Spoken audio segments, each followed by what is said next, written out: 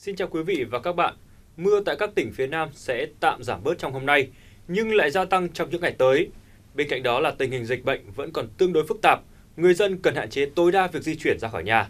Trong trường hợp thực sự cần thiết phải lưu thông ngoài trời, quý vị nên mang theo các vật dụng che mưa tiện ích, đề phòng những cơn mưa rông về cuối ngày.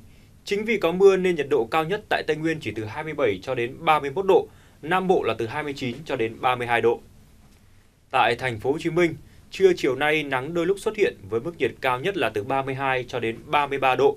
Từ chiều tối trở đi, mưa có thể xuất hiện rải rác tại một số khu vực. Do đó mà mức nhiệt thời điểm này chỉ dao động từ 25 cho đến 26 độ mà thôi. Rãnh áp thấp vắt ngang qua khu vực Trung Trung Bộ đang nâng trục dần lên về phía Bắc. Chính vì thế mà thời tiết ở miền Trung có sự phân hóa.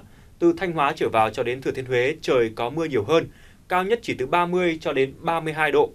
Các khu vực còn lại ban ngày tương đối tạnh giáo, nhiệt độ không quá 33 độ. Mưa tại Trung Bộ sẽ có xu hướng gia tăng trong những ngày tới.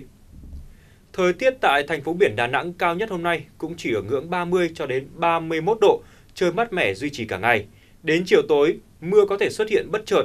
Tối và đêm nay, mức nhiệt hạ dần về chỉ còn 25 độ, cộng với gió biển nên người dân sẽ cảm thấy rất dễ chịu.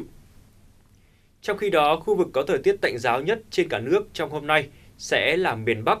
Ban ngày, trời nắng, nhiệt độ tăng lên vào thời điểm giữa trưa và đầu giờ chiều, với mức nhiệt cao nhất ngày từ 31 cho đến 34 độ, có nơi cao hơn. Độ ẩm tăng khiến chúng ta sẽ thấy oi bức. Do chịu ảnh hưởng của nhiễu động trong đới gió đông từ rìa Tây Nam cao cận nhiệt đới, nên tại các tỉnh phía Đông Bắc, nhất là khu vực ven biển Quảng Ninh, Hải Phòng và Nam Đồng Bằng Bắc Bộ, sẽ có mưa rào và rông về đêm và sáng sớm. Cụ thể, thời tiết tại thủ đô Hà Nội trưa chiều nay cũng sẽ có nắng, nhiệt độ cao nhất là 34 độ, độ ẩm tại đây khoảng 85%, cảm giác oi nóng hiện hữu khá rõ.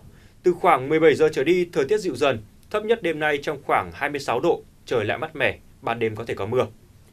Khép lại bản tin sẽ là dự báo chi tiết nhiệt độ các thành phố trong chiều và tối nay. Xin chào và hẹn gặp lại quý vị trong các bản tin tiếp theo.